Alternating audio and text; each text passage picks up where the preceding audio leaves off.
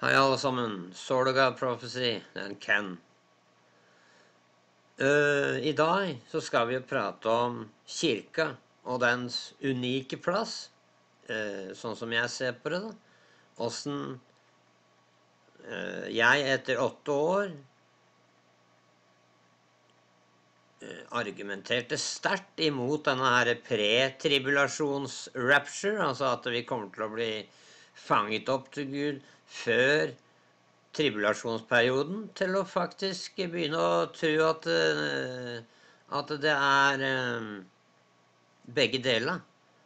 Det er eh, dem som er i kirken, dvs. Si dem som er i eklesiaen, som det greske ordet er, dem ser ut, sånn som jeg kan forstå det, til å bli redda bort fra dette tre og et halvt års helvete, da, som kommer til å ta, ta og finne sted på jorda. Og øh, det er derfor også det er folk som kommer til å angre da, og begynne å tru mens dette her pågår, dette helvete på jord. Og, og, og dem kommer også da til å bli redda eh, for andre gang, for å si det sånn, når han kommer tilbake med dom. Og så skal jeg prøve, da, så godt jeg kan, å forklare Kirkens unike posisjon, som sagt, eh, og hvorfor jeg postulerer disse tinga. For å forstå profeti så må vi bare kjapt ta oss for oss denne onde karakteren og imperiene sånn kjapt. For du kan si i Daniel 2 så fikk han kong Nebukadneser en drøm han våkna på, som ga han kjempeproblemer. Og han kalte inn alle sotseerne og kaldierne og ja, alle disse astrologerne sine og sånn for å tolke inn av drømmen. Men det var ingen som kunne tolke inn av drømmen. Fordi han forlangte at den skulle tolke drømmen uten at han sa hva drømmen var. Fordi han hadde enten glemt den, eller så testa han dem og lata som han hadde glemt den. Uansett så kommer Daniel foran kongen og sier eh, ja, Lev lenge, å konge, ikke sant? Eh, bildet du så, da, var et stort og fryktelig bilde. Altså det fryktelig Altså et eh, kjempe Ja, altså det var flott, da. Det var Men samtidig kanskje litt skremmende, jeg vet ikke jeg. Men, men, men det var sikkert en statue, ikke sant? Og huet var av gull, brøstene og armene var av sølv. Eh, magen da, og hofta var av bronse, og beina var av jern, og føttene var av delvis jern og delvis clay, altså leire. Men som du så Dette er en visjon, ikke sant? Eller den drøm, drømmen da, som han tyder. det er det der.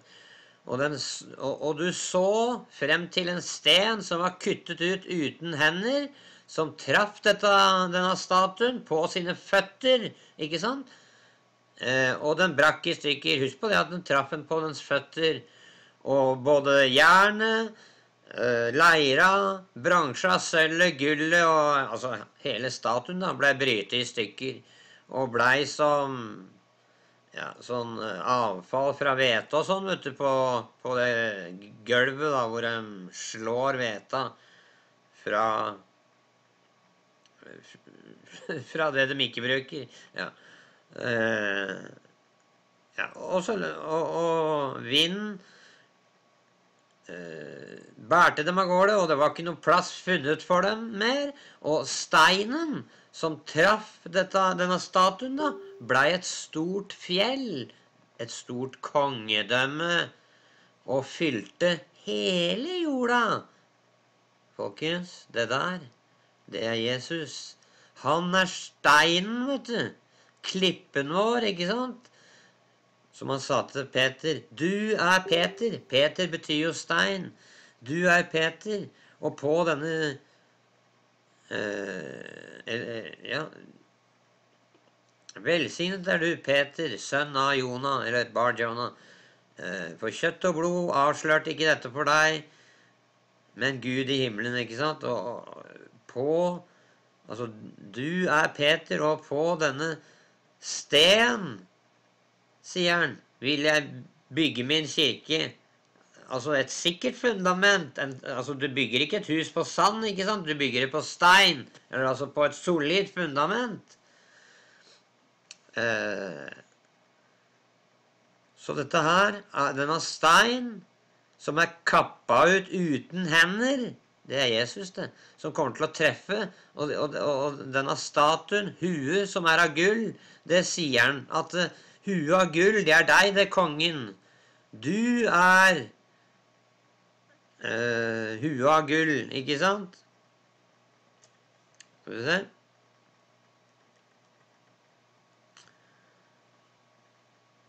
Ja, Du er dette huet av gull, og etter, det, etter deg skal det komme et annet kongedømme som er la, altså, ikke så betydningsfullt, er ikke så mektig som deg.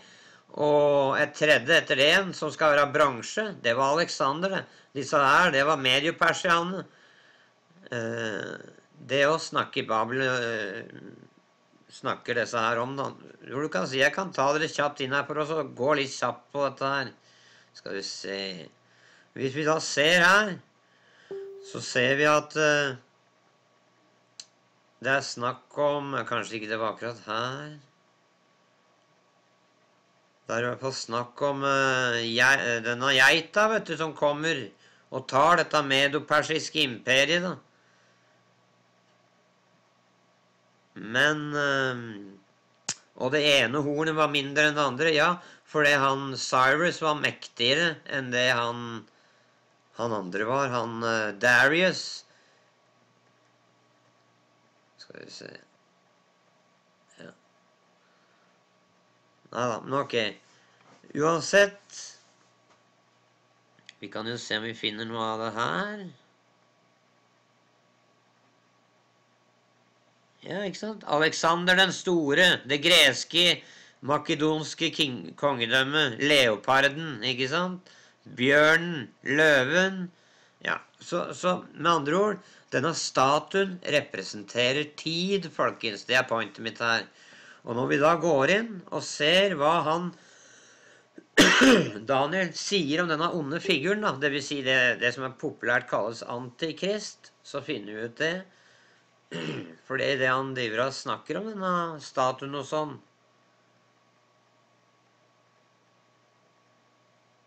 Det er kanskje ikke akkurat her. Jo, han sier her. For der hvor du så den statuen, da, eh, og tærne på den og sånn, som var delvis av jern og delvis av leire, så skal kongedømmet bli splitta opp. Men det skal være i det strengt til, altså styrken til jern. For så mye som du så jern miksa med støvet leire, da, Eh, og tærne av føttene var delvis av jern og delvis av eh, leire. Så også skal kongedømmet være delvis sterkt og delvis brytt opp. Mange som tror det er Europa, faktisk. Og der hvor du så jern miksa med ja, støvete leire, da, skal Hør på denne her, folkens. Skal den blande seg selv med ett av menn, eller sæd av menn, da. Ett menn, sæd av menn. Men de skal ikke henge sammen med hverandre, selv som ikke jern er miksa med leire. Ikke sant? Så her, på slutten av tid, da, for føttene representerer slutten av tid, så vil det komme inn et eller annet spirituelt, et eller annet demonisk, satanisk. For slik som det var i Noas dager, vet du, sånn skal det også være i kommelsen til sønn av mennesket, ikke sant? Eller sønn av man. Og vi får litt greie på åssen denne prinsen her, da, denne onde prinsen, er. I sjueren her. Og her ser vi også at uh, For her snakker han om Alexander det uh,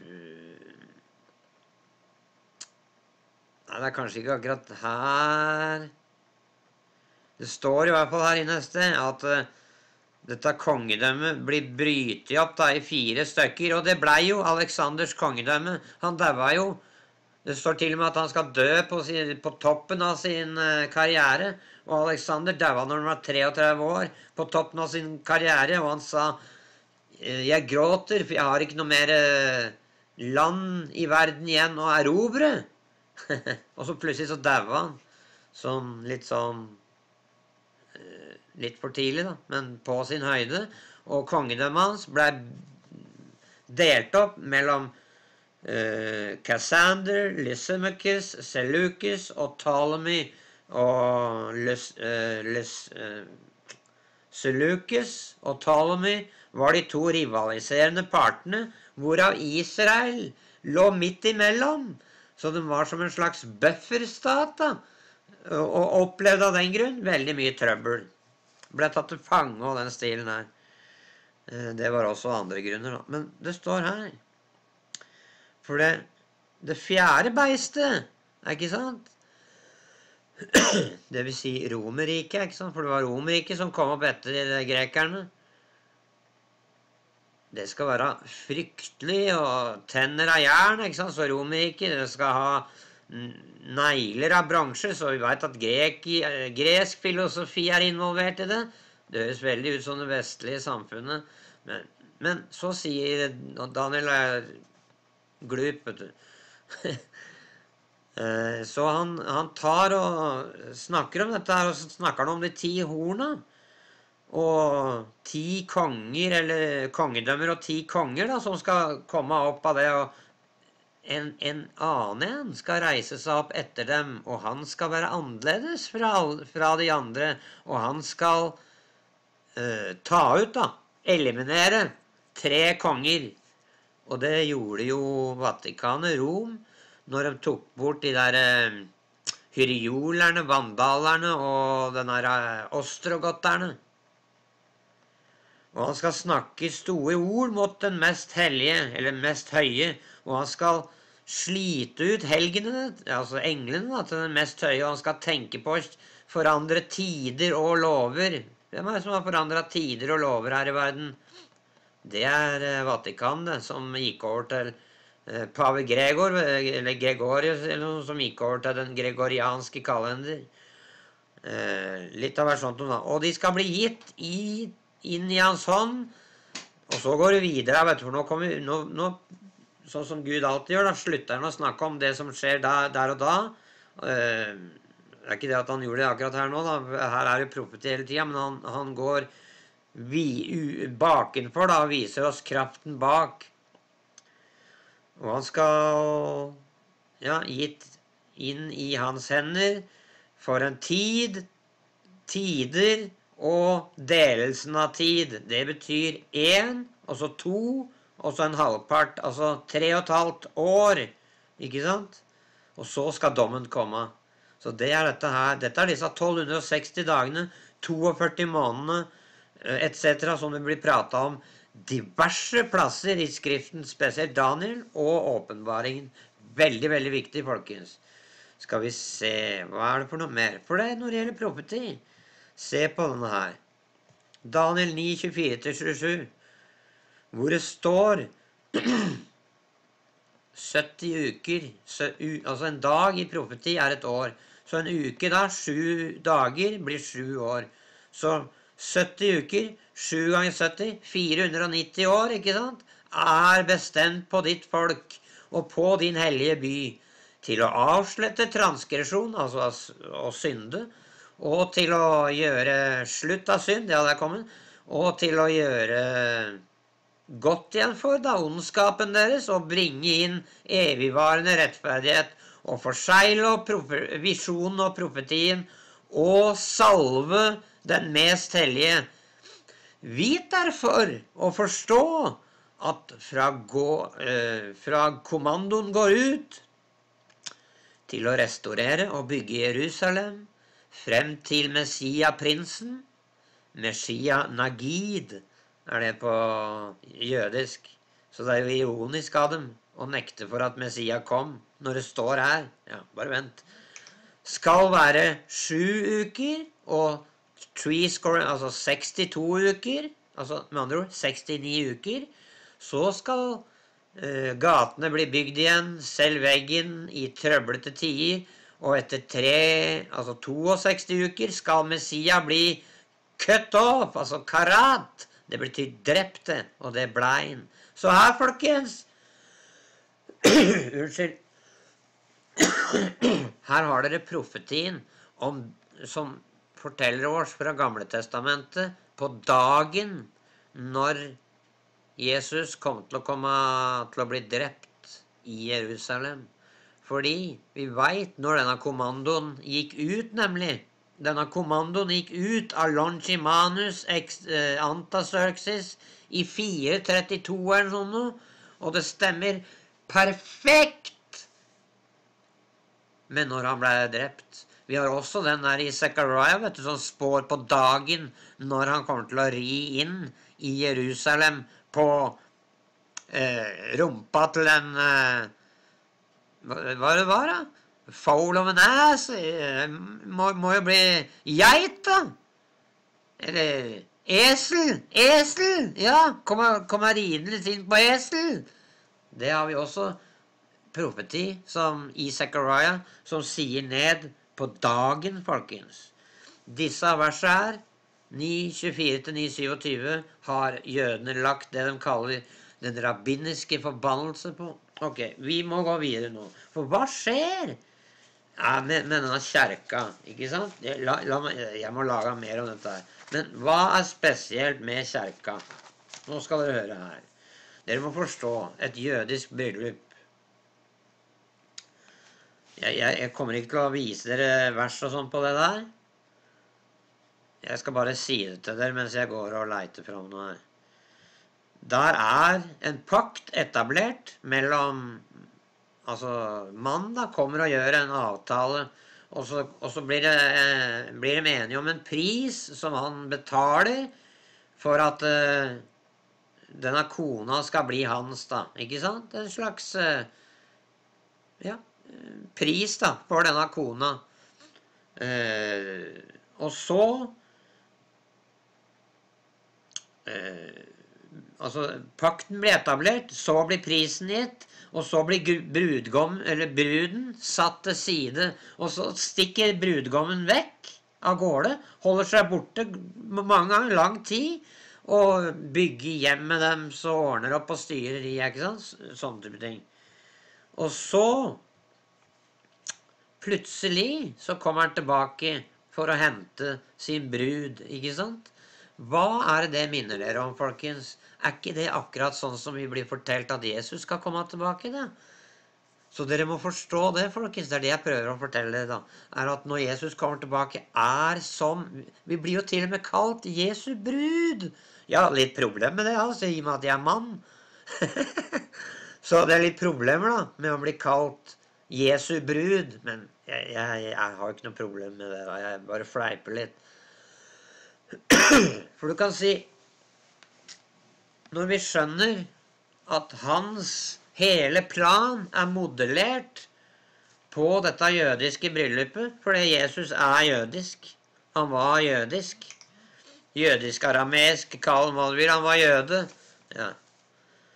Så det som skjer, da er jo at vi må tenke på åssen vi også blir henta, på samme måte. Og da spør jeg dere bare, ja, hva slags bryllup, hva slags eh, vi, vi, blir også fortalt at vi skal ha en eh, bryllupsfest i himmelen og greier, sammen med han.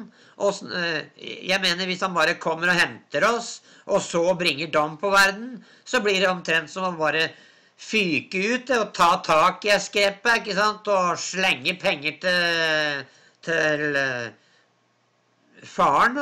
Og så ta meg hjem og så fullbyrde ekteskapet med en gang. ikke sant? Det er ikke noe sånn der uh, det, det, det, det, er ikke noe romantisk uh, sånn her ja, honeymoon der, altså. Så er, ergo, det stemmer ikke, for det er ikke konsist med dette jødiske bryllupet som denne oppfangelsen er modellert etter. Nå skal jeg prøve å bevise min sak her.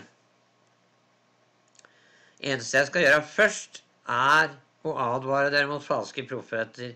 For Jesus sier her Se til at ingen mann bedrar dere på noen måte. For mange skal komme i mitt navn og si 'Jeg er Kristus', og de skal bedra mange. Ja, som jeg lagde video om i går, FN har jo venta på i 20-30 år. Maitrea Jesus, Maitreya mester Jesus, den uh, universale, galaktiske Jesus eller noe, og den driver fremdeles av pushere, folkens. Bare sånn at dere er klar over det. Og det er ikke Jesus Kristus, det er heller Satan. Prinsen av denne verden. The prince of the power of the air, vet du, som vi sier på engelsk. Ja vel, så han opererer i atmosfæren. Kanskje det er han som lager disse lysa som den filmer. For det, det står også det at eh, Satan selv transformerer seg til en engel av lys. Ja. Som hva som skjedde med Mohammed i den hula. Nok om det. Ok.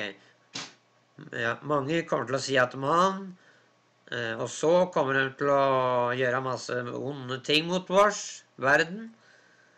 Og så kommer det som er viktig her. Når dere derfor ser styggedommen som ødelegger, snakket av om Daniel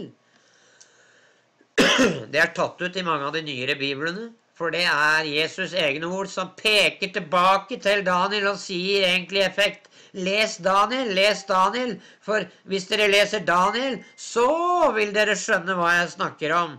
Ja, Det er det egentlig jeg Og så kommer disse tegna sånn om hva som vil skje. Så ja. Og så, Litt av hvert om åssen det blir når han kommer. Ikke sant?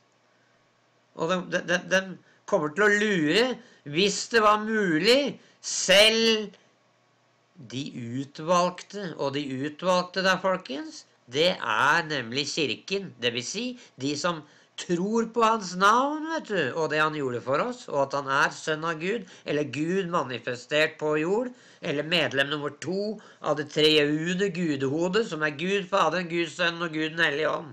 Og disse tre er én. Første John 5, 7. Ok, da går vi videre. For vi Jeg vil bare vise dere ånden som kommer til å være over verden på denne siste tid. For det er en ånd av spiritisme.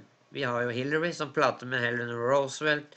Vi har en eller annen eh, Jeg husker ikke hvem det var, men en eller annen lord eh, Var han der prins Charles Nei, Philippa, som prata med lord Mountbatten, som er dau. Eleanor Roosevelt er også dau. Så det, det, er spiritisme, ikke sant? Det er nekromansi. Spiritisme, kall det hva du vil. Det er noe sånt noe. Så Ånden sier uttrykkelig at i de siste tider så skal noen gå vekk fra troen, og de skal gi altså lyster og ordre fra forførende ånder og doktriner til djevelen, og de skal snakke i hy hykleri, da, og deres samvittighet skal være brent som et varmt jern, og de skal ja forby å gifte bort. Det gjør jo eh, munker og sånn, ikke sant? Eh, de skal bli kommandert til å stå vekk fra kjøtt som Gud har skapt for dem. Til å bli mottatt med takk, ikke sant, for dem som tror og kjenner sannheten. Ja, halleluja.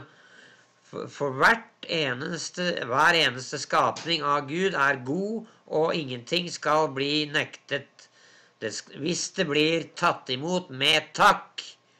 For det er sanktifisert med ordet av Gud og bønn. Bønn er vårt tunge artilleri, folkens, bare sånn at dere veit det. Uh, så vi kommer til å ha masse folk som driver av med satanisme, spiritu, altså hedendom og sånn, for det er det samme. Og det, det, dere, det har jeg også lagd andre videoer på, som dere kan se. Når dere nå skjønner Jeg, jeg anbefaler dere å lese boka Ruth. Hvis dere veit at eh, Boaz er en typologi, en prototype på Jesus, og Ruth er kirken, og Naomi er Israel. Les den og forstå den boka, så vil dere nesten vite hva som kommer til å skje framover, folkens. I hvert fall når det gjelder Israels retur til sannheten. Ok, la meg bare kikke litt i notatene mine her. For det vi må gå inn på Tessalonikerne, vet du. Og hvem er det? Jeg tror vi får se, da. For dette er harpazzoen, the rapture, altså når vi blir Som kommer fra det latinske ordet rapiemur. Det vil si når vi blir fanget opp, ikke sant? Til han. Skal vi se.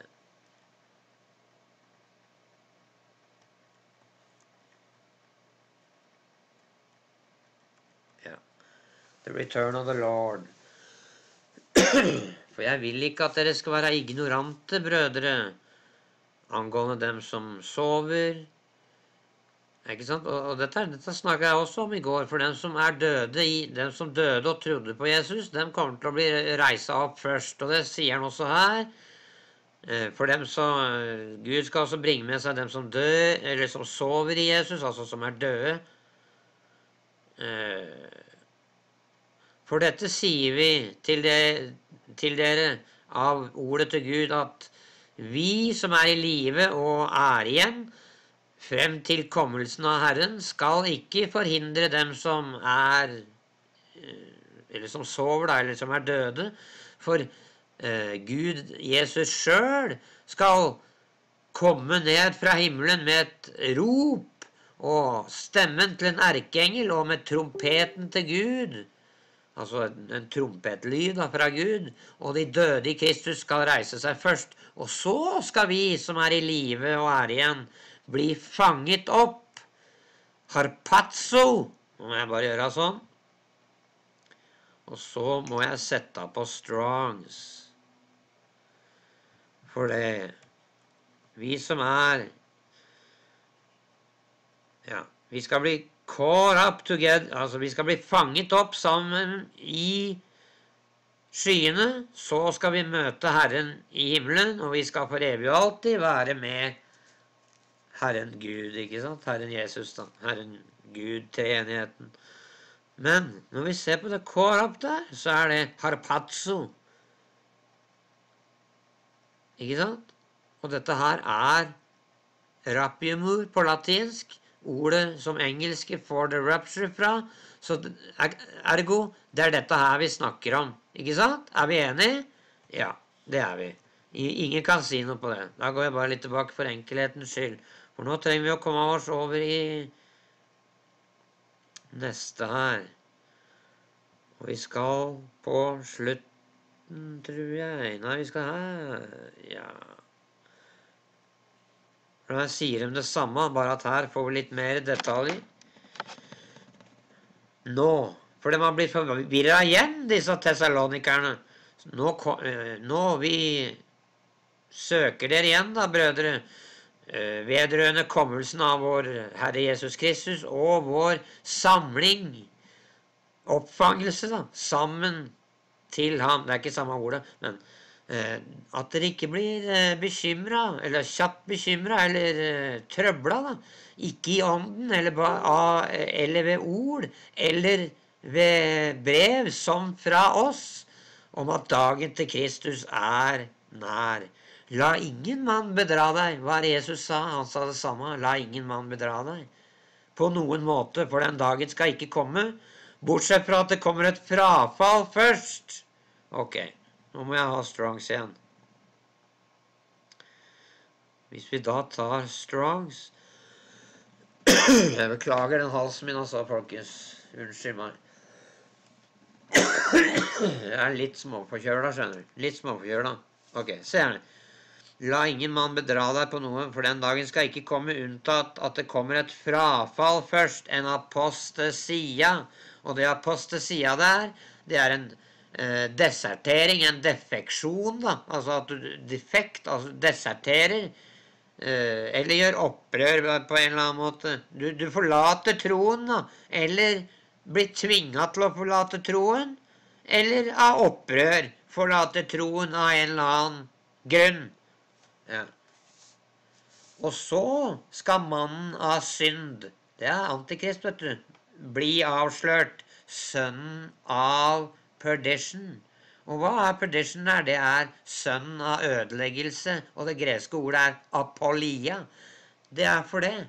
Hvis vi søker opp her, folkens, så Skal jeg knytte dette litt sammen for dere? For det Apollo, Apollion, da, som han kalles i Bibelen, det er høyst sannsynligvis Satan. For det kommer ikke opp seriøst.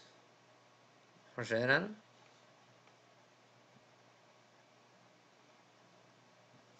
Skal vi se Apollyon.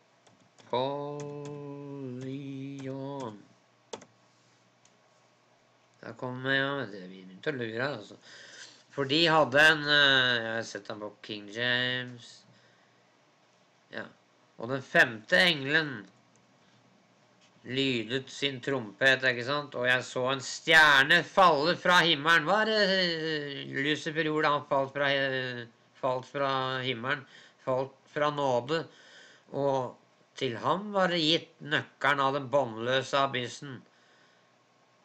Det er klart, en stjerne er synonymt med engel. Hvis en stjerne detter på jorda, så er det ikke noe mer jord, for en stjerne er tusen, titusenvis ganger større enn jorda.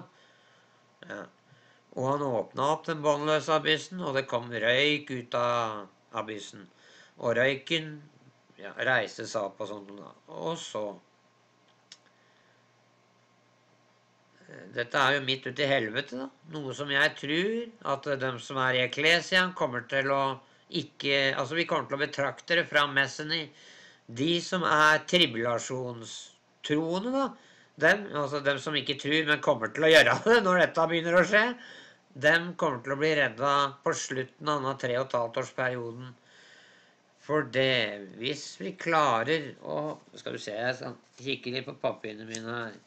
For det, jeg, Grunnen til at jeg sier det sånn, er for det hvis vi da tar et annet søk, så, så veit vi nå uh, at uh,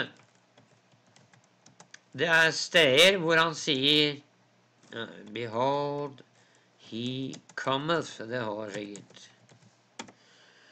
Det, det er steder hvor det står at han kommer i skyene, i skyene, og at vi er med. Og så er det andre steder hvor det står at han at, at, det virker som han kommer da, bare for å plukke oss opp. Eh, og derfor parabelen om to kvinner sto og malte på møllestein. ikke sant? Én blir tatt, en annen ikke. To menn er ute, i, eh, gå, ut, ute på jordet, da, og én blir tatt, den andre ikke. Alle disse parablene der.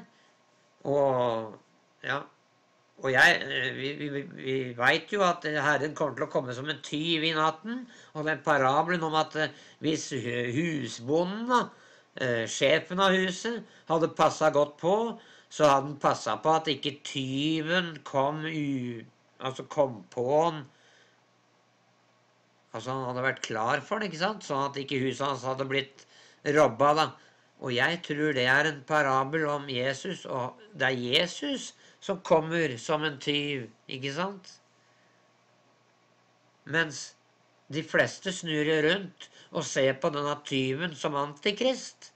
Det, det stemmer ikke med profeti, folkens. Det er mer riktig å tenke på denne tyven som kommer For det vi blir fortalt at ja, vi veit at han kommer som en tjuv i natten, men for dere brødre og søstre som, som uh, ikke er i mørket, som ikke er i ondskap, ikke sant, og som tror på hans navn, dere kommer ikke til å bli overrasket slik at den dagen overtar dere som en tyv.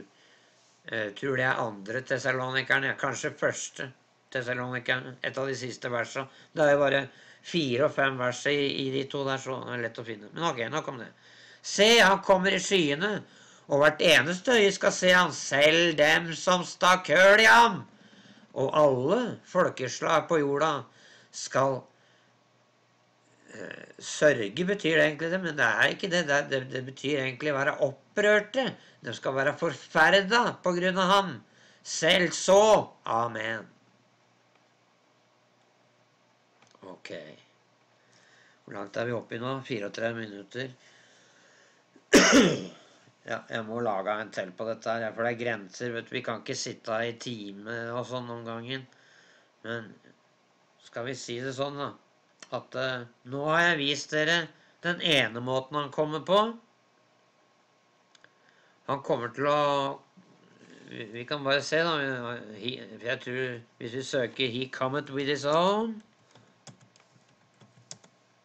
With his own Skal vi se hva vi får opp der.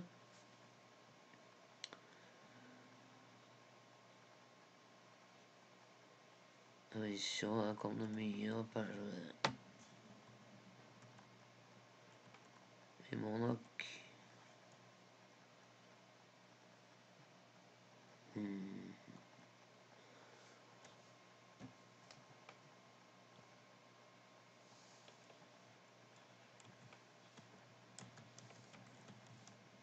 Ok, bare skriver da 'with his own'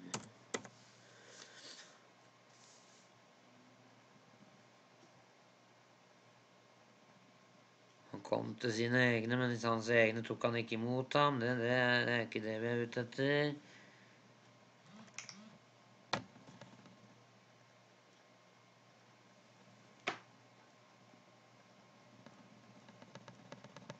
Ja, nei, nei, men ok. Jeg skal finne fram det. Jeg har, har uh, vers på dette, skjønner du, for at uh, Skal vi se Kanskje det er andre tessalonikerne her også? Eller andre Peter.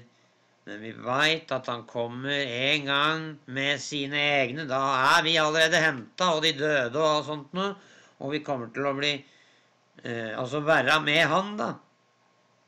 Fordi vi har blitt henta først. Og da kommer også de Sånn som jeg forstår det.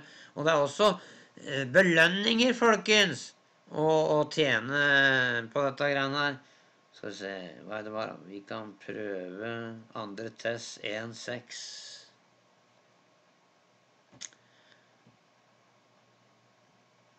andre test én Kan ikke vi bare kjøre sånn, da? Én Seks Ikke sant? Tribulation.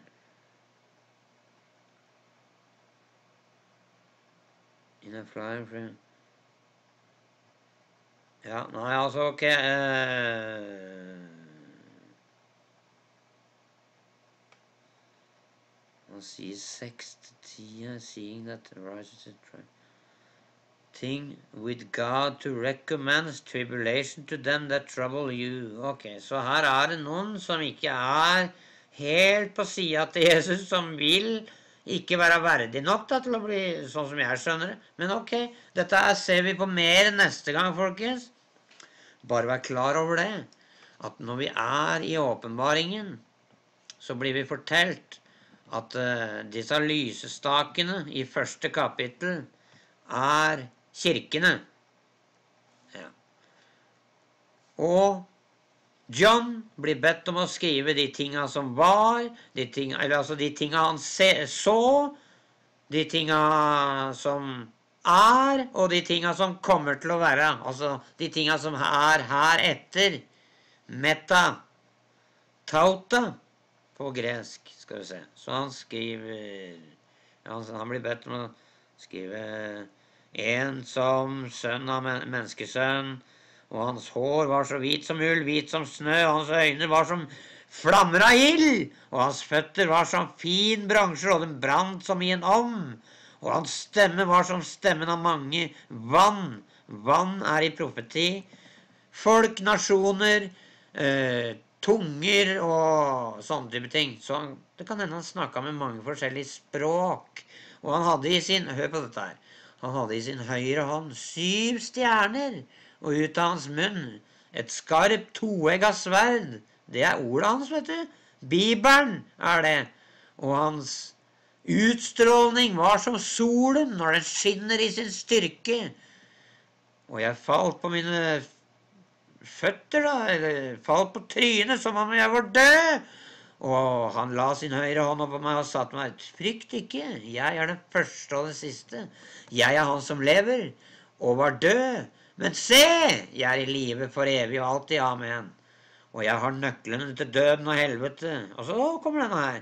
Skriv de ting du har sett, de ting som er, og de ting som du skal, skal være her etter. Meta tauta. Beklager. Myst Dette er viktig, folkens, for når det gjelder Kirken Hør her. Mysteriet av de syv stjernene som du så i min høyre hånd, og uh, de syv gylne lysestakene De syv stjernene er englene av de syv kirkene, og de syv lysestakene er Eller som du så, da, er de syv kirkene. Ok! Så lysestaken er, ly, Lysestakene er kirken. Altså som, som en enhet, selv om det er syv han skriver til her. Dette er jo her hvor Jesus Gud skriver de syv epister vet du, til de syv kirkene. Den ene i Ephesus, den andre i Smørna, Pergamum, Thyatira, Leodicea, Philadelphia alle, alle vil jo være Philadelphia. Og her Dette sier Sønn av Gud, som har øyne som ild. Øyne som flammer av ild, og hans føtter er som fin bransje. Så det går om igjen, om igjen. Samme Skal vi se. Pointet her er at dette er tidsalder, folkens. Men som er appliserbart for alle for å lære av dem. Disse kapitlene pleier folk å hoppe over, og det er veldig, veldig dumt. For vi er denne kirka som den kaller for Leodesia-kjerka. Og hva er det han sier om Leodesia-kjerka? Til engelen av kirken av Leodesia skriv disse ting sier Amen, den trofaste og sanne vitne av begynnelsen av skapelsen til Gud. Jeg kjenner dine arbeider, at du er verken kald eller varm. Jeg skulle ønske du var kald eller varm. Så fordi du sier du er Nei, fordi du er lunken og verken kald eller varm, så vil jeg spy deg ut av min munn. Fordi du sier jeg er rik, og jeg har masse ting, ikke sant, material, gods, og jeg har ikke behov for, ingen, for noe. Men du veit ikke at du er eh, ynkelig, miserabel, fattig, blind og naken, og jeg rådfører deg til å kjøpe meg gull prøvd i ilden det er, det er, når du tror det, vet du. Så blir du prøvd i ilden. Fordi alle begynner å tro meg. Den som har ondskap over seg, kommer til å komme etter deg. Det har jeg merka, nemlig. Så du blir raffinert, da. Og i prosessen, når du da snakker Guds ord og lærer bort, sånn som jeg gjør, så glorifiserer vi vår Fader i himmelen, vet du. Sånn at ja, altså, Gull prøvd ild, sånn at du kan være rik og hvit. Eh, hvite kjortler, det er rettferdigheten til Gud. Hvite kjortler. Sånn at du kan være kledd, og at skammen av din nakenhet ikke skyndes. Og salve i dine øyne med øynesalve, sånn at du kan se så mange som jeg elsker. Eh, disiplinerer jeg og, og, strammer opp. ikke sant? Vær ivrig derfor, og anger. Anger, folkens, for dere er lunkne om dagen. Mange av dere. Se, jeg står og banker på døra.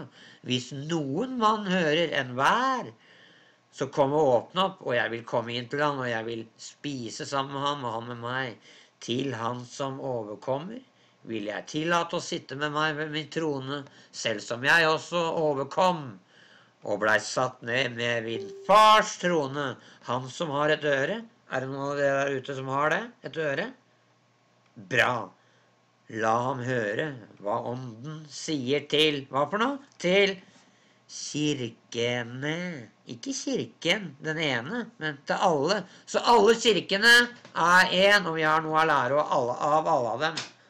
Neste gang så skal jeg vise dere disse tegna, alle skriftene, hvor det står om når han kommer for å ta og hente oss. Men som eh, det virker som han kommer som umerka, da. Så det blir spennende. Jeg har en liste den her med Og vi kommer også til å ta en kjapp tur innom Job for å se åssen Satan manipulerer mennesker. Vi, eh, for, for, vi vil ikke, vet du, som Paul sier, at dere skal være ignorante om Satans slue mekanismer. Ja, ok. Folkens, han kommer i skyene, og alle øyne skal se han, selv dem som stakk høl i ham. Og alle knær skal bøyes, og alle tunger skal erkjenne at Jesus er Kristus, den salvede Sønn av Gud.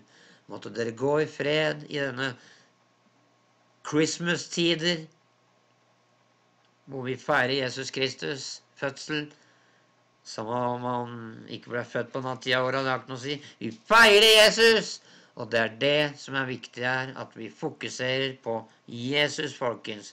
For det er kun via ett navn, ikke mange, dere kan entre paradis og himmelriket, kongedømmet av himmelen. Og det er gjennom navnet Jeshua Messianagid, vår kommende konge, Jesus Kristus. Amen, folkens. Vær velsigna. Fram til neste gang, gå i fred. Ha det bra.